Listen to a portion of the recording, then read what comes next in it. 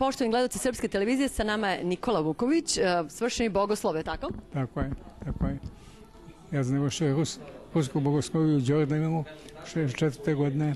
Stupio sam u bogosloviju 1957. godine i, i danas posjećujem bogosluženja u Ruskoj crkvi Svetog pokora, pokora Presta Bogorodice koji je praznik sada u utorak 14. I nadam se da će biti naš mitropolit Ivan Rion, Ruske zagranične crkve i nekoliko episkopa i domaći episkopi, mladika episkopa Lipije i mladika Petar i, i sveštenstvo. I tamo će biti toga dana mnogo srpskog naroda i srpskih sveštenika i nadamo se i srpskih mladika. Znate. Da, treba, treba, uvek treba, omladine dosta. Recite nam, gledali ste ove filmove, uh, filmove sa filmskog festivala Bdenje duše. Šta mislite o ovim filmovima? Ja sam po prvi puta, jako sam ovdje 58 godina u migraciji, po prvi puta tako nešto vidim u, u našem narodu. I zaista me radio što sam večeras ovdje bio prisutan i što sam posmatrao te filmove.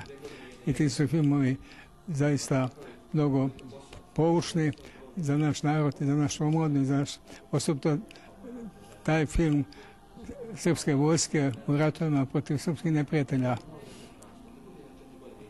mnogo je značajan i to trebamo češće puta ponoviti preko televizije srpske i u srpskim salama srpskih crkava da to narod vidi. I ne samo te filmove, nego filmove iz drugog svjetskog rata i sada iz posljednjeg rata o zločinima na srpskim narodom koje, koje su učinili srpski neprijatelji. E, hvala vam lepo još jednom. Mi se nadamo da ćemo imati prilike češće da gledamo ovakve filmove, zato i postoji Filmski festival Denje duše. Inače, Filmski festival Denje duše je počeo znači, u Sremskim Karlovcima. Ja se nadam da će i dalje uvek svake godine da bude ovaj filmski festival ne samo u Sremskim Karlovcima, nego i ovde u Čikagu i svuda u svetu. Ja, i, i mislim, potrebno ipak da srpski narod i srpske parohije ovdje dadu podršku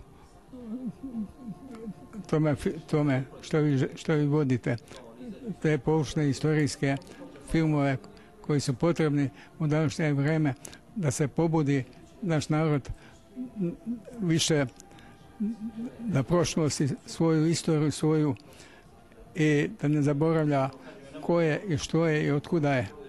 Još jednom. Bogu hvala, neka Bog s vama.